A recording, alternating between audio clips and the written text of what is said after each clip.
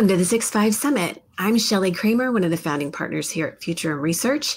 And on behalf of my team here at Futurum and the team at Moor Insights and Strategy, we're so glad to have you. In this spotlight session, Futurum's Daniel Newman is joined by Samsung Semiconductor Corporate Senior Vice President of Memory Sales, Jim Elliott. And they're going to talk about the critical role that memory plays in supporting what has quickly become our new normal. Jim also shares how memory will be a key toward keeping the world moving forward in a post pandemic environment. I don't know about you, but this is one conversation I am very interested in. Let's get to it.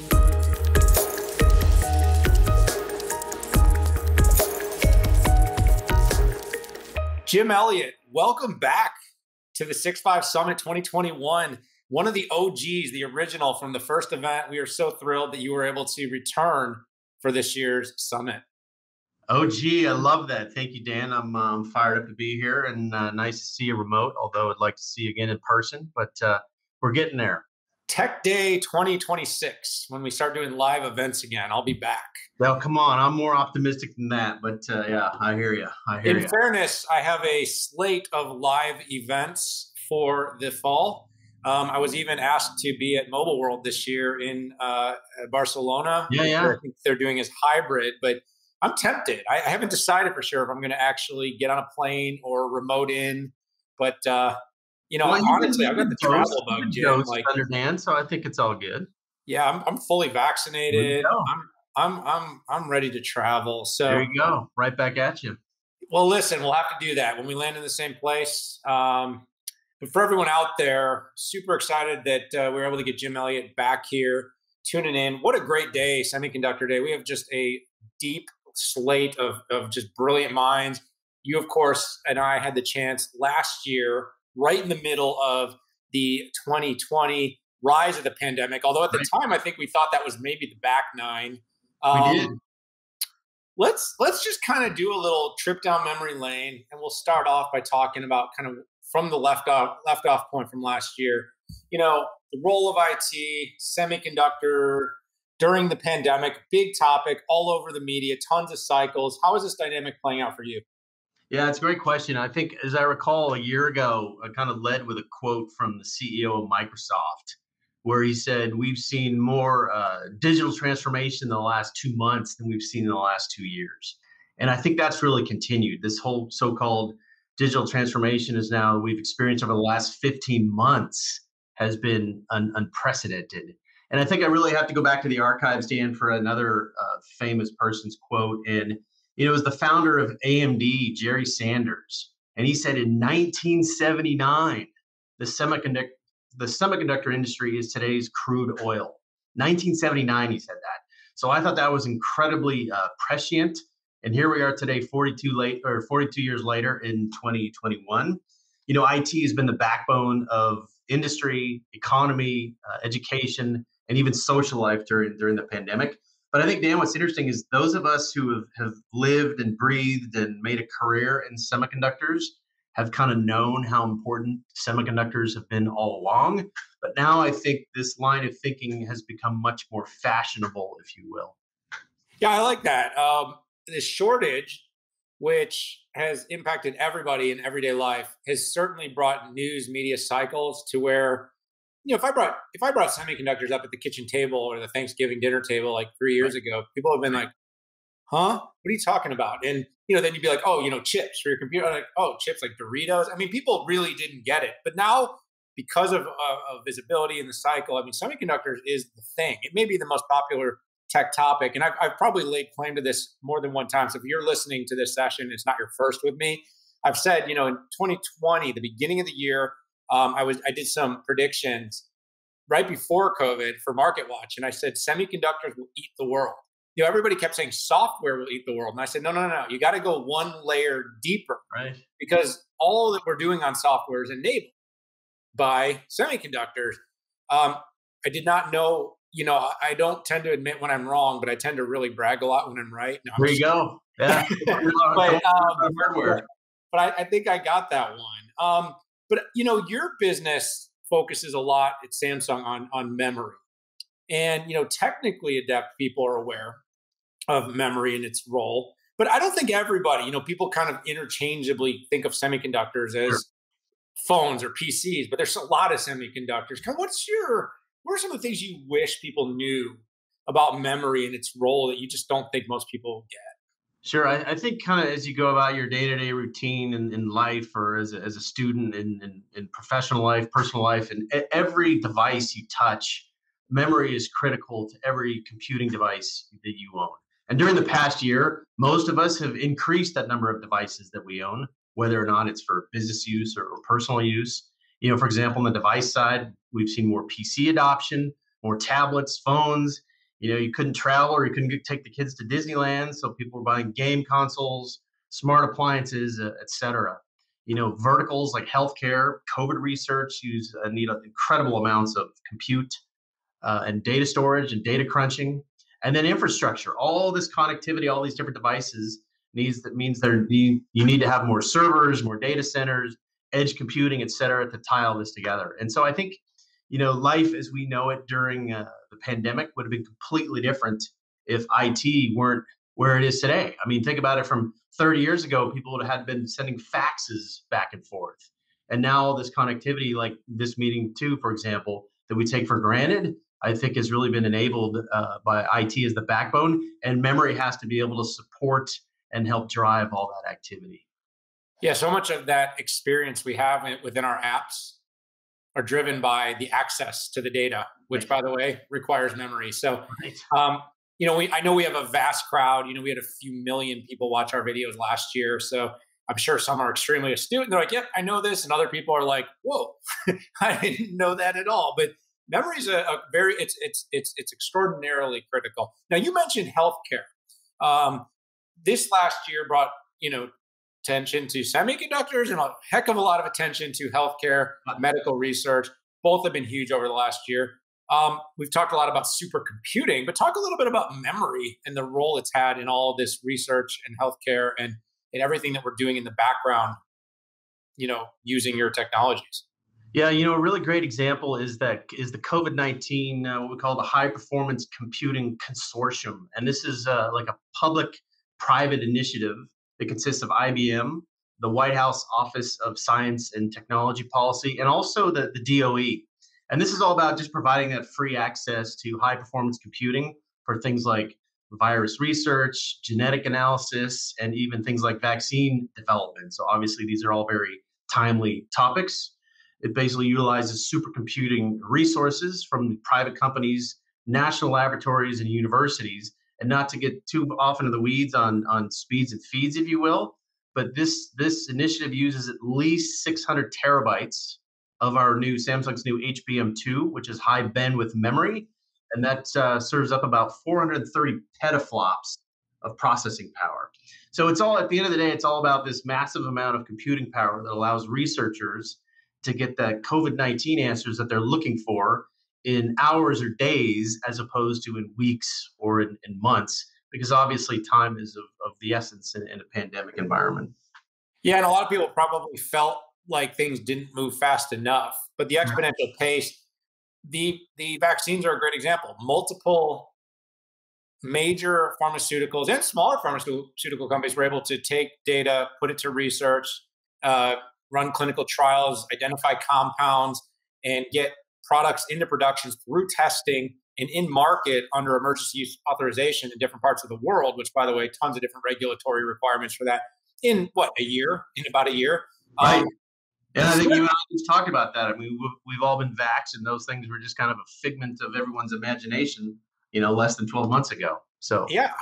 But I mean, that's extraordinary. You know, and like I said, it felt sometimes like, oh, why don't we just put the uh, RNA of the, the virus into a supercomputer? And why doesn't it just tell us which vitamin we can all take and not get sick? And, you know, it's not exactly how it works. Although, like I said, you know, as, as, as, as computing continues to, to grow and scale, it'll get faster. It, believe it or not, as fast as it was, it will get faster. Now, right. you mentioned and you quoted Satya Nadella, and, and Microsoft's been with us throughout this event.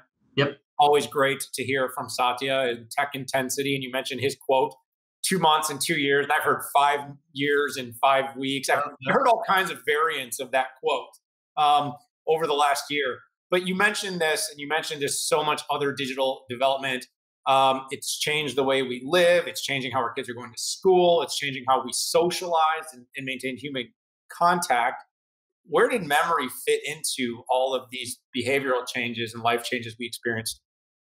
Yeah, so if you think about it, like the number of devices, uh, capabilities, services has, has all increased, especially in the last 15 months. And this could be online shopping, remote work, remote learning, you know, the that sort of XFH or everything from home kind of an analogy. I remember I remember when the pandemic first hit, we were doing Zoom happy hours with with colleagues that you couldn't see again.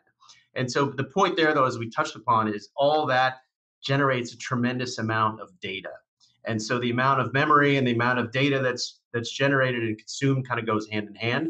You know, we've been talking about data for years. In fact, I think we talked about that a lot at last year's Six Five Summit. It seems like kind of a buzzword, but it really is kind of everything. You know, it drives HPC, it drives AI and machine learning, and, and also it's kind of the part of that overall digital transformation that we've been talking about. So then take edge computing, for example. So now the industry has to look at bringing the compute and storage closer to where the action is. There's literally so much data being created at the edge or through all these client devices that it becomes prohibitive to try to transfer back and forth. So really, we have to bring that compute and storage capability closer to where the data is being um, created, so it can be actioned upon. And that's where we get into things like that real-time compute, or real, which is critical for real-time decisions. So really, our role at the end of the day is is to ensure the best and most efficient way forward for our memory customers and for the industry as a whole to utilize computing resources to support this data driven um, world. So, Samsung, from that standpoint, we're constantly thinking about driving memory innovation to support the client as well as host applications, but then it's all about the interoperability of the two. And so, net net, it's really up to the semiconductor providers, including the memory industry, to provide solutions that re- reliably can store, protect, and then also make that data available in, in real time and accessible for real-time business decisions. So I imagine though this has kept you pretty busy then. You know, what have you guys been doing to enable this? Yeah, we've no doubt we've been we've been busy for sure, even without commutes and without business travel. Right? It's amazing how everyone has stayed uh, even I would say more busy in, in this environment. And you know, data growth drives the need for things like high capacity SSDs, which is a big component of our business uh, compute, uh, AI, uh, artificial intelligence, HPC needs things like high capacity DRAM, as well as new and emerging products like HBM or DDR5. And then now you're hearing a lot about 5G connectivity, and that needs a completely different type of memory like LPDDR for the best mobile experience, including longer battery life. And so, net net for a memory supplier, there's really not a one size fits all solution. So, we're really going to have to innovate on multiple fronts. Yeah, and, and, there certainly are a number of players, and Samsung's, of course, one of the, the, the global leaders. And you're seeing innovation and approaches to memory, uh, and each of you are, are taking slightly different. And by the way, like I said, this event, which is just has an amazing roster of semiconductor companies, uh-huh. you know, throughout it, you may hear different things as a, you know, as you, the audience, from these different vendors. But I think every single one of these, whether you know it's DRAM or whether you know it's you're talking about SSD, in some cases we're talking about you know persistent memory technologies, and, and all of them play a role. And all right. of you are developing them to try to address different needs, different applications, you know, uh, different uh, compute architectures that are shifting. You know, you've got things that are super data intensive. You've got things that are, are, are much less intensive that require, you've got things that need access to data in real time, no latency. You got slower, longer latency. So I, I want to pivot here though because we're talking to you know top execs like yourself ceos from a vast majority we, we really do have the slate of semiconductor companies here and none of them are going to get off of our stage virtually speaking without being asked about the chip shortage okay what's causing this what's your story because you know uh, are so many different uh, you know versions of the story being told and i've told one and, and, I'll, and I'll add one thing um, to this is that you know while the stories aren't the same, chip companies are doing great. I mean, I just went through the earnings wave, uh, you know, and these companies are hitting numbers consistently in most cases. So what's up with this? You know, balance of supply demand. What do you see? Sure. Sure. So you know, I've been in the in the uh, semiconductor industry for for 25 years, and obviously, there's been many many cycles throughout the history of the semiconductor industry. And so, if you think about it in that context, there's probably been more than a dozen cycles that I've been through. In that context, this is a cycle two. Um, and it's not just semiconductors, though. It's I mean, you're talking. You're hearing now the big buzz on Wall Street is a shortage of workers and at the outset of the pandemic, it was home products and home cleaning products, and every industry has had to adjust to this. Um, we call it like an, this exogenous event, which has strained uh, these sort of very complex and interrelated worldwide supply chains. And I think, you know, for me, as, as soon as I saw the news break on that uh, on that cargo ship on the Suez Canal, right?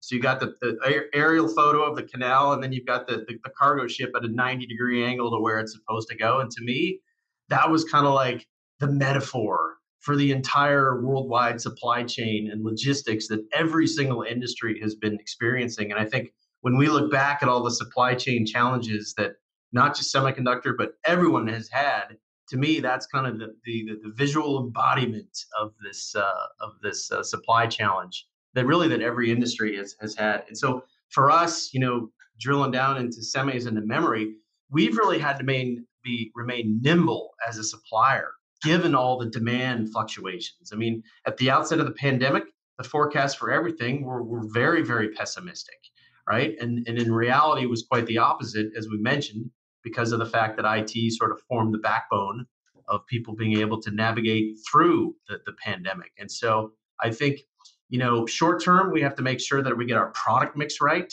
So as we talked about just a second ago, there's a there's this proliferation of different end applications and they all need a different kind of ingredient of memory or semiconductor depending on what the application is.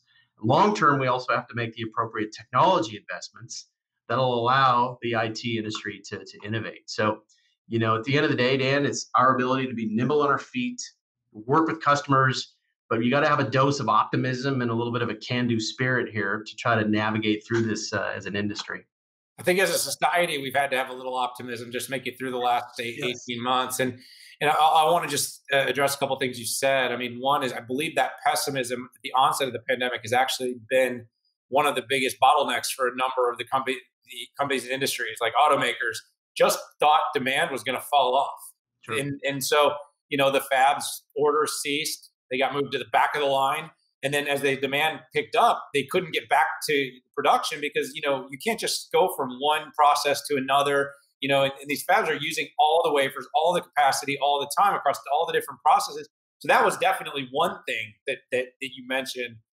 Okay, so let's get personal for a minute here. What surprised you the most? Like you in your role in the spot in the business you are, what was your biggest surprise over the last year?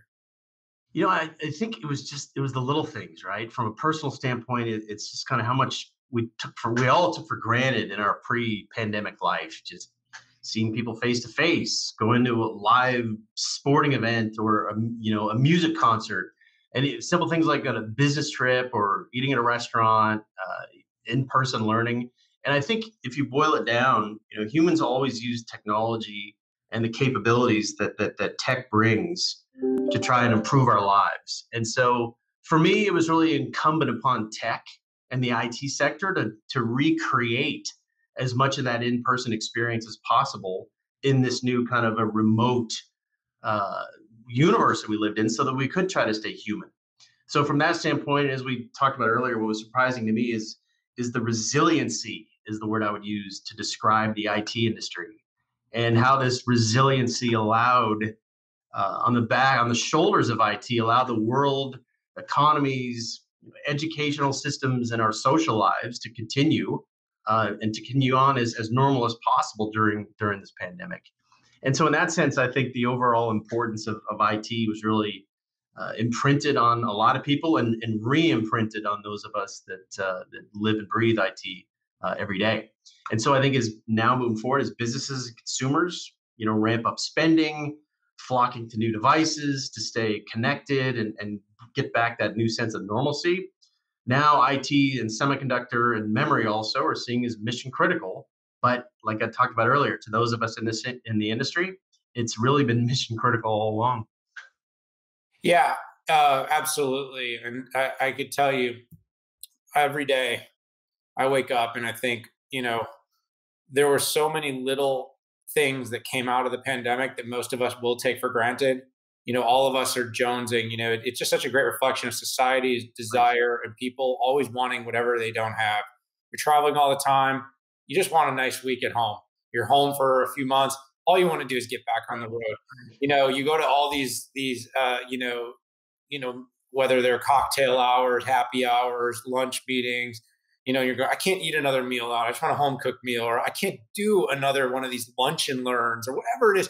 And now it's like, I can't wait to see everybody in person again. I mean, it's just, it's hilarious though. But you know what, for me, and I know this sounds funny and maybe it's a little endearing, maybe it sounds uh, like something you'd never hear from me because I tend to be very pro- professional all the time on my social profiles. But it was just awesome to spend like almost two, eh, two years now with my kids and, and mm-hmm. my, my family, you know, like I watched my four year old now son like grow from like, you know, uh, three, four, now almost five. And like, I would have missed a lot of that. So, you know, it's funny. Like I said, hopefully, you know, all of us can look back just a little bit at this and, and find some good in, yeah, in trying to optimize around not having a commute time or not having to travel and, and how to spend those hours. But yeah, it's it's certainly been an adjustment, hasn't it? We found and we found a lot of efficiencies. All of the companies did. Like, wow, we do not need to do these things live. Like there are things we can mm-hmm. do. Video conferencing did not get adopted quickly, but I still think we'll go back a lot because I think it's the social condition. So last mm-hmm. year at our summit, um, let's just do a quick year recap and review, Jim. Let's go back and uh, from your perspective last year. Um, you know, any big changes from what you said at this year at the event last year to this year? Yeah, I think you know the big thing is is there was a lot of uncertainty at, at the front end of this thing, and like you said, I think we when we met last summer, we already thought we were on the back nine of the, of the pandemic, and here we are, you know, 12 months later, and hopefully now we're on the on, on the back nine, if if not the 18th. But I think for me, it was it was kind of inspiring to see you know the industry come together uh, and, and company wise company wise seeing seeing Samsung's various teams come together to, to kind of rise up and, and meet some of these challenges. You know, we really had to step up as a company, as an industry, to cope with these these changes and shifts in demand. You know, I've seen a work ethic that's just been incredible, creativity, problem solving, getting around logistics. And so my perspective was, you know, wow, we're, we're really, I mean, the memory in the semiconductor industry is always um, very fast paced. But I think now the thinking is, you know, we're, we're, we're good at this. We, we got this. If we can get through 2020 as we did, and now as we're getting through 2021, you know, I think we can navigate our way through through any challenges in the future if we keep up this uh, same kind of mindset. Yeah, absolutely. And, and by the way, very, very, uh, you know, pleasant to hear some positivity that comes out of this thing.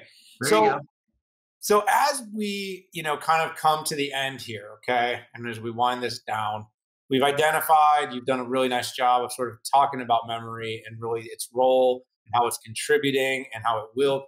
But you know, let's put a little let's put a little of your foresight glasses on here. I want I want you to do a little prognostication in these last few minutes.